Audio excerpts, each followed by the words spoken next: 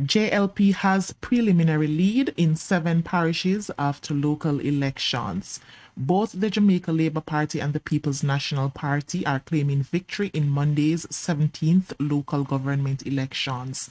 Preliminary figures indicate that the JLP won or is leading in seven of the 13 municipal corporations up for grabs, while the parties are tied in Clarendon, Kingston, and St. Andrew. The PNP has won or is leading in five, including Portmore.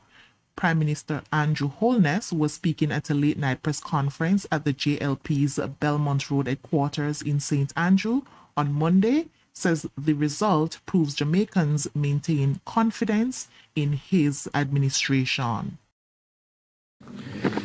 But we waited until we got the latest results from the Electoral Office of Jamaica.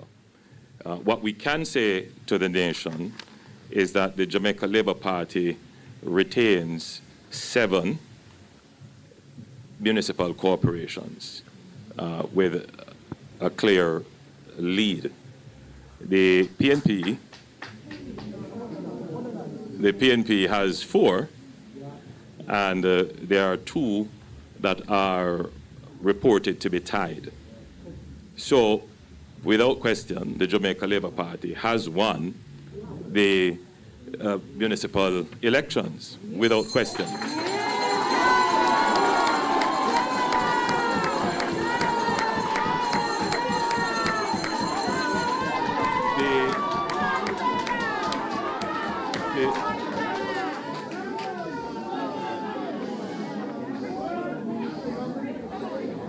The two municipal corporations that are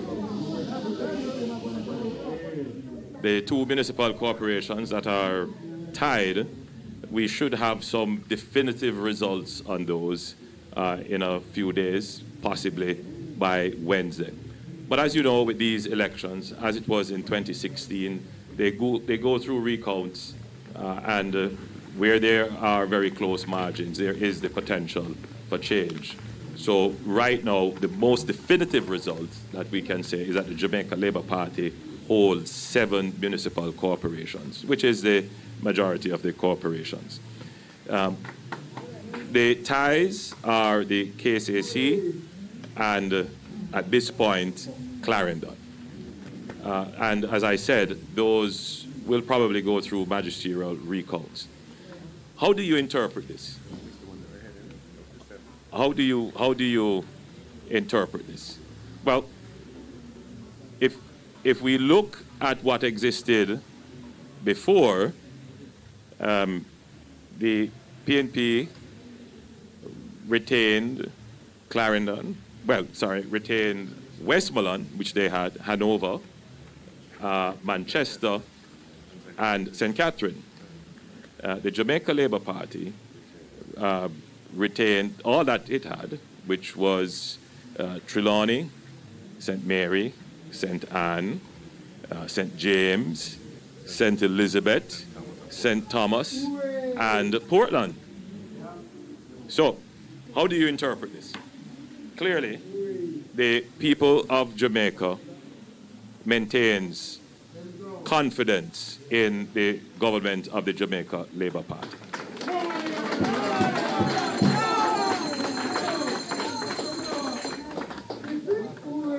Clearly, clearly, if this were a, a general election, the Jamaica Labour Party would still be the government of Jamaica, which is the, which is which is the result. So uh, there is no, in, in, in my opinion, uh, as I had expected, the results would largely be the same. Now, there are, however, issues that have come up in the campaign, which the government has been seized of and recognizes. And I think the people have, in their wisdom, found a way to communicate these issues through the ballot to the government. The government cannot ignore this. As we went around the country, every member of parliament, every councillor contesting the election would have come up on the issues of roads and water. Uh, these are not issues that are uh, that originate with the Jamaica Labour Party. These have been long-standing issues that the people of Jamaica have been suffering. Uh, but we note that people's expectations have risen. I, I, made the observation that there are more cars in Jamaica now than ever before. Almost 150,000 or more cars have been imported into Jamaica since 2016. And uh, the level of housing construction has increased. Uh, and therefore, people are expecting these conveniences and utilities to be readily available.